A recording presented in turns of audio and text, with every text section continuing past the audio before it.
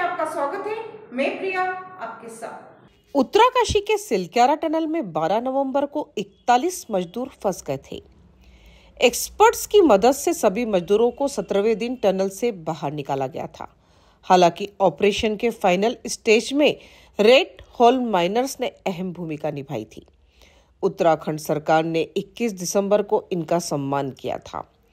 उत्तराखंड के मुख्यमंत्री पुष्कर सिंह धामी ने 12 रेट माइनर्स को शॉल और 50-50 हज़ार रुपए का चेक देकर सम्मानित किया था।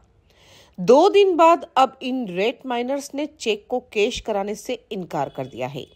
इनका कहना है कि हमने जो काम किया, उसके लिए हमारा उचित सम्मान नहीं हुआ। रेट माइनर्स के लीडर वकील हसन ने कहा कि जब मशीनों की मदद से टनल में फंसे श्रमिकों तक नहीं पहुँचा जा रहा था, तब हमने बिना किसी शर्त के मदद की। अपनी जान जोखिम में डालकर हाथों से ड्रिलिंग की। हम सीएम धामी के इस कदम की सराहना करते हैं, लेकिन राशि से संतुष्ट नहीं है। हम सभी ने चेक कैश नहीं कराने का फैसला किया है।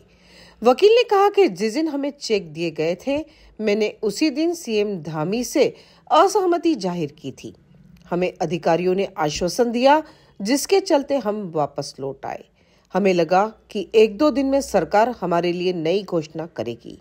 यदि अधिकारियों का किया वादा पूरा नहीं होता है तो हम अपने चेक वापस कर देंगे। हसन ने रेट माइनर्स को परमानेंट नौकरी दिए जाने की बात कही है। एक और श्रमिक मुन्ना का कहना है कि टनल में फंसे श्रमिकों को बचाने के लिए हम मौत के मुँह में चले गए। अपने परिवार वालों की भी बात नहीं मानी। पचास हज़ार रुपए बहुत ही मामूली रकम है। इसी के साथ बने रहिए एशिया न्यूज़ इंडिया के साथ। धन्यवाद।